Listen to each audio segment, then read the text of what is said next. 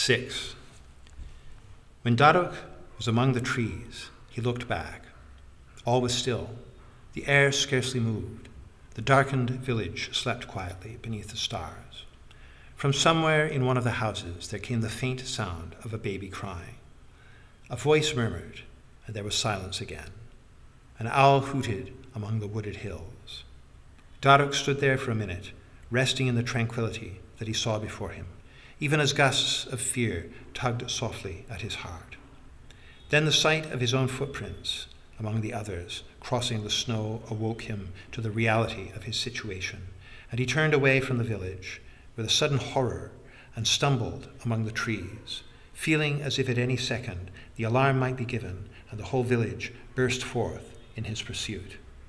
He forced himself to walk slowly, for it was so dark in the forest that he could barely see the trees around him, and the snow was no more than a glimmering at his feet. But he pressed onward, staggering where the ground was uneven, until he was out of breath and had to stop for a minute, his chest heaving, his ears straining for the least sound from behind him. He moved forward again as soon as he had caught his breath. He came after a while to a sort of path where the trees were thinner and a line of footprints was dimly visible in the starlight. He wondered whether he should try to follow the path, and then the thought struck him that these might be his own footprints not far from the village, for he might easily have circled round in the darkness without realizing it. With a sickening dread, he peered up through the tangle of branches and tried to make out the constellations. It seemed to him that he was going too far to the north, and if these were his own footprints, he must have veered to the left almost from the beginning. He felt a moment of panic at the thought that his labors had taken him no farther from the village, and the night was passing. But then he set his foot beside one of the prints that were before him, and saw to his relief that his own foot was larger. The footprints were not his. He laughed suddenly, as if he had no enemy in the world, and began to walk along the path. He was able to go a little faster now, and although he still had to stop occasionally to catch his breath, he felt that he was actually getting stronger. It was as though the village had drained away all his strength, and now, as he moved farther away from it, his strength was gradually returning.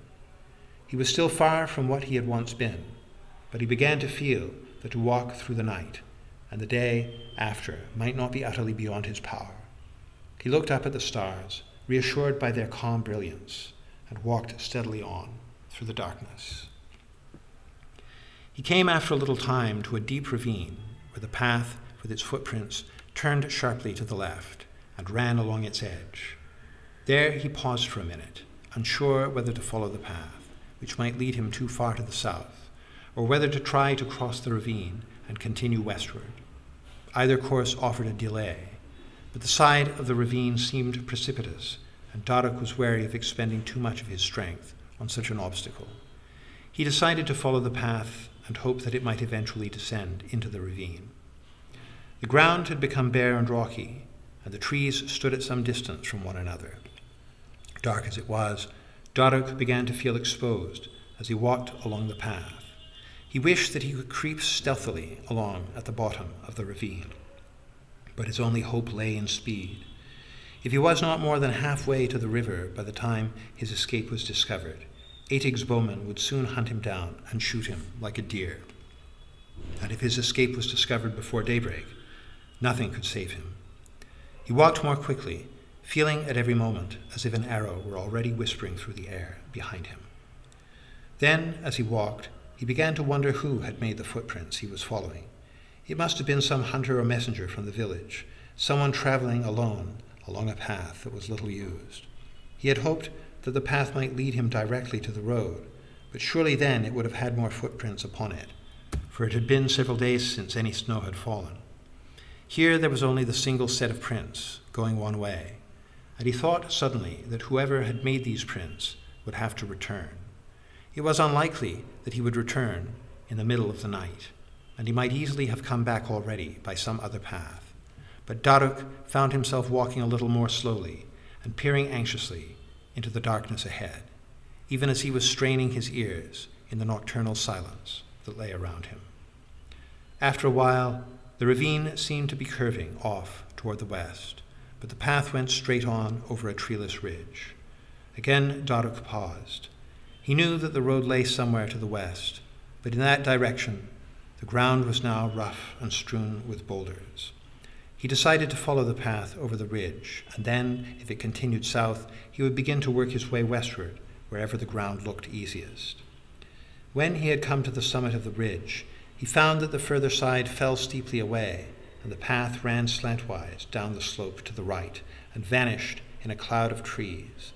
He went down the path with some difficulty and came into the darker shadow of the forest, and there he groped blindly for a while, no longer able to tell whether he was on the path, until at last the darkness became transparent again, and he saw the snow glimmering before him. He stepped out from among the trees, slid suddenly and awkwardly down a slope, and found himself standing in clear starlight on the empty road. Daruk looked around and then picked up his bundle, which he had dropped in the suddenness of his descent, and with a deep breath turned to the right and began to walk along the road. The most difficult part of his escape now seemed to be past, for he had only to walk along the road until daybreak, and then make his way through the forest until he came to the river. But he knew that in reality the greatest danger still lay before him. At dawn his escape was certain to be discovered. The pursuit would begin then, and the daylight which would open a way for him in the forest would also help his enemies to find him. He could walk steadily through the night, but his enemies would run with all the strength and endurance of the hunter, and they would not have to look far to find his tracks. He looked back at his footprints, clear even in the faint glimmer of starlight. He quickened his pace. His only hope lay in speed, and he was already weary. Time passed. The stars wheeled through the heavens, and Daruk sank deeper into the rhythm of his walking. He walked without effort and without strength, as though his legs moved of their own accord, and as he walked, he dreamed even while his eyes were staring into the darkness. He seemed to see Karet again, and to feel the touch of her hand upon his shoulder. He heard her voice, cool and direct, with that slight tremor which he thought was anger, for there was no fear in those brilliant eyes. Why had she freed him? Did she set limits to Atig's power by letting his prisoner escape? Was she in danger then? Or was her favor with that red eyed man so great that she could not be harmed? Did she merely demonstrate her power to Atig, and perhaps even to that other? Or was it kindness? But what kindness in one as proud and intelligent as she was would make her take such risks, unless the risk was less than he imagined? They would have lost the key, and if no one told them, if no one had seen her, and she would be above suspicion. But he must not let himself be taken alive. And now he pictured her not as she had been, but with the hood thrown back and her face illuminated by more than starlight, as though his own face were a window shining into the dark. Her countenance floated there before him, glowing softly in that imaginary light, austere and passionate, expressing nothing and yet seeming to tremble with incommunicable meaning. A scream rang savagely in the darkness. In an instant, he was at the side of the road, close under the trees, staring back where he had come from, with the hair prickling at the back of his neck. And almost at the same moment, he recognized the sound and knew that it was only the cry of a mountain cat in the forest behind him. He exhaled slowly and quietly. The sword that Karet had given him was now naked in his hand. He could not remember having drawn it. He looked at it for a minute, gleaming faintly in the starlight, and then he sheathed it and walked slowly back to where his bundle of food and water lay in the road. The weight of the bundle as he picked it up brought home to him how tired he had become. His legs shook as he stood there, and the bundle seemed ready to drop again from his hand. It was clear that he would have to rest. He walked unsteadily to the side of the road once more and crept under the branches of a fir tree. And there, in almost complete darkness, as he lay down and drank some water and ate a little of the food. After he had eaten, he felt better, but now his eyelids began to close, and a warm drowsiness began to gather him into its cloud. With an effort, he awoke and crawled into the starlight, and then he stood up on legs already stiffening and, begin, and began to walk, forcing himself to take step after step until his legs were again moving of their own accord, and the road seemed to flow smoothly beneath his feet.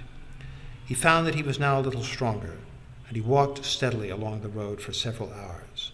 But at last he began to feel light-headed, and his mind wandered strangely above the sound of his breathing and the remote rhythm of his footsteps. He was awakened by the shock of a sudden blow and the coldness of the snow pressing against his face.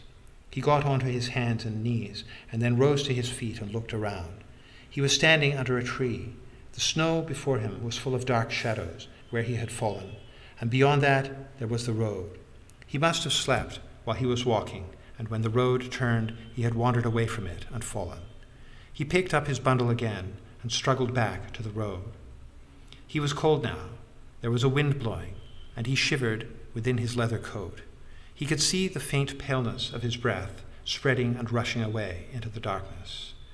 He went and sat under a tree and ate the rest of his food. He drank sparingly of the water and then stretched out his legs and closed his eyes for a minute. He was still cold, but the shivering had stopped, and he would feel warmer when he was moving again. There was no time to spare. He closed his eyes once more and felt as if he were sliding into an abyss. When he opened them, the sky in which the stars were glittering had become a somber blue. Daruk sprang to his feet. Already he could hear the clamor of the masterless men as they rushed from the, the, their village. But the forest was silent. Even the air was motionless around him. How long had he slept? He felt well rested. He must have been asleep for hours, and although he had regained some of his strength, he had paid for it with time he could not spare. From the beginning, the outcome of his escape had been in doubt, but there had always seemed to be at least a chance. But now the empty box would be discovered. His tracks lay plain to see. The hunters would be rushing upon his trail. And how far had he come? He could not have covered more than a third of the distance that he had to travel. And now the day was upon him. He urged his stiffened limbs to a faster pace, but he knew that already it was too late. After he had walked for a little while, he began to feel more hopeful. He knew nothing about what was happening in the village. It might be hours before his escape was discovered, and certainly his strength was greater. He strode swiftly along the road with his sword swinging at his side, and the sky overhead gradually became a deep and radiant blue, and all but the most brilliant stars had vanished. All around him the world was taking shape. The great trees of the forest, leafless and evergreen, which for so many hours had been only a deeper shadow in the glimmering night, now stood forth. The massive presence of the hills rose in blackness against the ever brightening sky, and a few clouds drifted high above the trees like wind blown hair. A bird sang briefly in the forest, and its voice echoed among the hills with solemn loneliness. The road shone bright before him. And now the clouds kindled with a rosy light, and the sky grew pale and vast, the long shoulders of the hills began to shine faintly under the sky. A sudden wind shook the branches of the fir trees and then fell again, and all was still. The light grew stronger. Daruk could see his breath rushing and floating in the air in the cold air before him. For a minute the world seemed bleak and barren in that unsparing light, and then the air stirred again, and the sun rose over the land to the east. The earth itself seemed to tremble as the westward hills sprang together into flame. The high treetops burned with the golden light, and all that lay beneath them seemed in darkness again. But the light swept on until every tree was glowing to its roots, and the level snow between them shone with an immaculate fire. Daruk sang as he walked, the words rising to his lips from deep within him, and the melody unfolding like a clear path that lay constantly before him. Morning was upon the world, and joy rose within him until he seemed beyond all pain and loss. He walked exulting, and all around him the forest echoed with his song. He was free, and with that thought he remembered the reality of his situation. The pursuit would have begun now. He might have only a few hours to live. What was the glory of this morning if it ended in the desolation of death? By nightfall he might be a corpse hanging in the wind. He might be like Vos lying in the frozen ground. But he would not meekly await his end. Some hours remained to him, and he would use them to the utmost of his strength. Before sunset, his fate would be determined, and if he offered up his strength to fortune, he still might live. He plunged off the road into the snow. By daybreak, he should have been deep into the forest, but the sun had already risen, and he had only now left the road. Once again, he had been slow. Now he must summon up all his speed. He floundered through the drifts of snow like a drunkard. May the great ones help me, he cried, and he sang no more. Now Daruk found that his strength was less than he had imagined.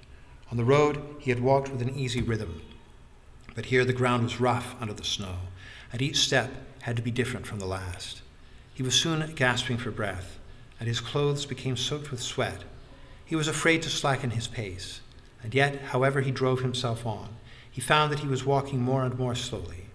Once he stumbled and fell, and actually crawled on his knees and one hand for a moment before he regained his feet.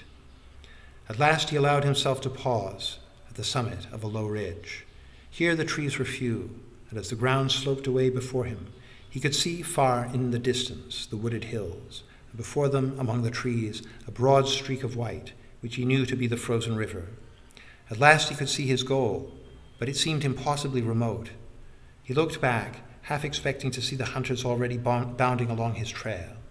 The road seemed to be no great distance behind him, and the crooked line of his tracks, clearly visible through the tangled branches of the trees, seemed like a mockery of his desperate efforts during the past hour. And before him, the leafless forest stretched out for more than a league, fold upon fold, to the white river and the hills beyond it. For a strong man, it was not far, but for Daruk at that time, to cross from where he stood to the frozen river seemed no easier than to fly. And yet he did it. He drank some of the water and tied the bottle to his belt, threw away the cloth in which it had been wrapped, looked back once more, and then strode clumsily down the slope before him, steadying himself against the tree trunks as he descended. And for a long time he struggled on through the forest, wading through snowdrifts, picking his way among the broken rocks, sliding into narrow gullies and climbing out of them, moving more and more slowly, looking back more frequently, and with each moment expecting to be transfixed by the hunter's arrows. But the forest was desolate. He saw neither animal nor bird, and heard nothing but the sound of his own footsteps and his breathing. And at last he came out upon the shore of the frozen river and fell down upon his hands and knees. For a long time he knelt there, filled with relief and yet hardly remembering in his exhaustion why he had struggled so desperately to reach this place. Then he rose and stood on trembling legs and looked back along his trail. Everything was still. The sunlight lay indifferently on the trees and the bright snow. He turned and walked out on the ice, dreading the arrows that might fell him at the edge of freedom, yet knowing that he was free. He had reached the boundary. He was at last beyond the territory of the masterless man. The further shore of the river now lay before him, like a new world. When he went up from the ice onto the snowy bank, everything seemed to shine softly with its own light. Each twig and particle of ice, each withered berry upon its branch, gleamed in the sun as though created that very morning.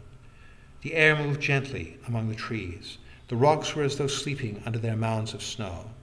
A squirrel ran suddenly, its nails clicking upon the bark, and clung for an instant at the end of a springing branch. A bird darted among the pine boughs. Everywhere there were tiny movements, and yet all was still. Daruk walked peacefully through the forest, climbing steadily from the white expanse of the river toward the first ridges of the hills. His legs felt weak and heavy, but they still carried him, though with short, uneven steps, and his breathing was deep and regular. He began to dream again as he walked under the leafless boughs.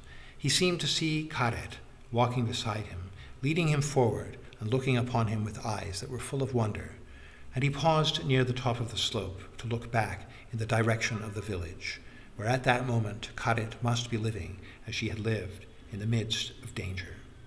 Through the bare trees he could see the river, flat and smooth between its banks, and the faint line of his footsteps crossing it and then the snowy slopes fading into a haze of trees, beyond which the road lay hidden, and in the far distance the shadowy outline of the hills. But what caught and held his eye was a tiny figure moving among the trees, and another dark figure close behind it, descending slowly on the far side of the river. For a moment the cold went to his heart, and he sank down quietly beside a tree. But then he remembered that he had crossed the river, and he began to breathe more easily. He watched with a kind of fascination as they crept down the line of his tracks and came out upon the shore. He could see that they were carrying their longbows already strung. He was out of bowshot, but he instinctively crouched low and kept behind the tr- trunk of a tree. Now they were standing on the river bank. He could imagine their conversation, the annoyance in their voices, their unwillingness to return without their quarry. One of them was walking out onto the ice. Then Daruk realized that they were crossing the river.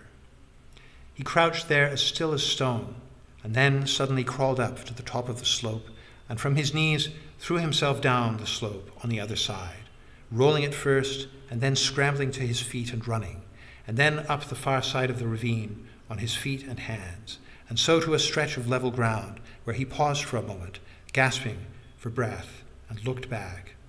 There was no sign of his pursuers. He forced himself again to a kind of shuffling run and went on to the foot of another slope. But there, struggle as he might, he could not climb at anything faster than a walk. At the top, he rested for a few seconds and then stumbled rapidly across a broad open space of several hundred yards. Now there was another gully with steep sides. He slid and rolled to the bottom and lay there for a minute, half stunned and dizzy with exhaustion, and then dragged himself up on the other side by clutching at trees and bushes. His legs seemed hardly to be his own. At the top, he threw himself down behind a tree and looked back to the open space which he had crossed. There he again caught sight of his pursuers. They were no closer than when he had first seen them. He had matched their speed, but they were running easily and strongly, even after the long climb from the river, even after running all that morning. And Daruk was exhausted. He had kept ahead of them, but only by expending almost all of his remaining strength. He could not go on like that. In a few minutes they would be upon him, and then everything that he had done would be in vain. This day, so joyous in its beginning, proved bitter in the end. He could do no more. He had lived to the utmost of his power, and now he was at the mercy of these men who regarded him as already dead. But as he watched them running, strong and contemptuous, their bows ready for the first glimpse of their quarry, all his fear, his sorrow and despair vanished in the cold simplicity of his rage. He found himself staggering among the trees and across a clearing, hardly knowing yet what he was doing, but looking for a steep sided ridge or hill where he might make a stand. He ran slowly but more lightly than before. His head was clear now, and his limbs were possessed of a new strength. He came over a rise and descended into a shallow vale, and he saw ahead of him the place where he would make an end. There was a great rock standing out from the hillside with trees growing on its top. Its face rose up seven feet above the snow. There he would rest for a while and await his pursuers. But he must not let them use their bows. He ran past the rock and over a low ridge, weakening rapidly, but undismayed, and then doubled back along the side of the ridge and crossed again just above the rock. He crept slowly forward between the trunks of the trees and lay there on the rock, out of sight, directly over his own tracks in the snow. He drew his sword. Now he must wait. The minutes dragged by, and the sweat grew cold upon his face and his body, and his anger became as clear and unwavering as the sky. His breathing grew slow. His limbs began to stiffen with cold and fatigue. He stretched silently, relaxed his hand upon the hilt of the sword, and then closed it again. With a start, he realized that they were already close to the rock. He inched forward and gathered his legs under him, supporting part of his weight with his hand against a tree. He could see them now. They were almost beneath him. He glimpsed their faces, drawn with weariness, and then they passed below him, and he sprang quietly from the rock. He landed behind them and cut down the first as he was turning. The second ran backwards from him, drawing his sword with the bow still in his left hand. Daruk drew his guard to one side, saw the fear in his eyes, and struck at the base of his neck, cutting deep into his chest. The man crumpled up on the snow in a fountain of blood. Daruk turned to look at the other. He was lying where he had fallen, slowly churning up the snow in his last struggle. Daruk turned away, took three steps, and fell senseless, still holding the darkened sword in his right hand.